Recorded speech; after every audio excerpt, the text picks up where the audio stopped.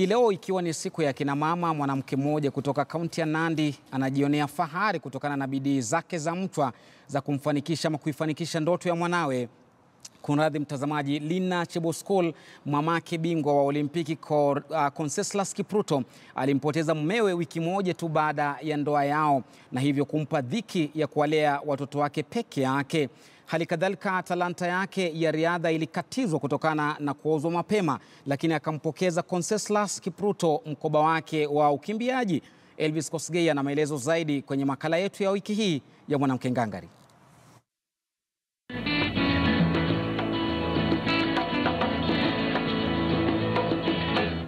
Kipruto proved tonight that it is he who now rules the world for Kenya in this event.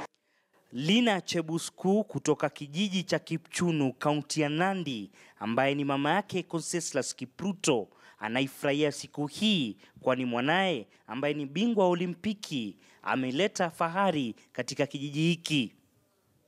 Na Obstebanjang, siku ile naitwa Obstebanjang. Hata mambira mimi najesa anything, ile mchezo anajesa yote Kana duniani? Ame, ameona kwa mtoto mdogo anakimbia round round kwa nyumba. Kama two years hivi, ameangalia hii mtoto anakimbia kama mimi, anazunguka nyumbani.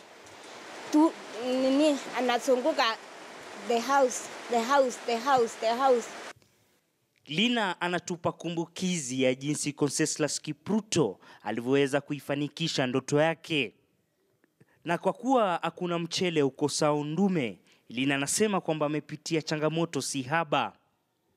Ya mbele ni ngumu, kama kama mimi hakuna mzee anakwenda kufanya kazi ya kibarua mpaka siku ya kupata nini mashamba yangu, anaenda kibarua Sai hakuna ng'ombe, hakuna kila kitu, hata kuku.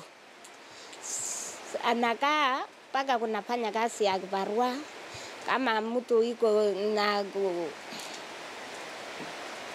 ya nini, kazi ya nyumba tu na shamba, hata ya kukamua maziwa, ameenda kufanya yote hiyo.